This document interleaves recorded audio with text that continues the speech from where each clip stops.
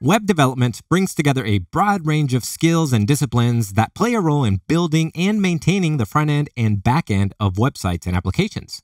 The front end, also called the client side, is the part that users interact with.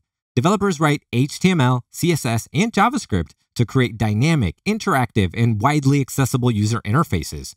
The backend, or server side, is an essential part of the user experience.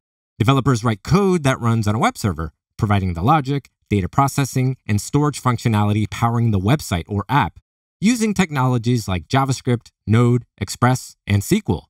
Web developers ensure that these front end and back end technologies work together so users can access the information they need across a wide variety of web browsers and devices. You can learn these in demand skills and more in our web development Techdegree. Sign up for a free trial today and begin your journey towards a career in web development.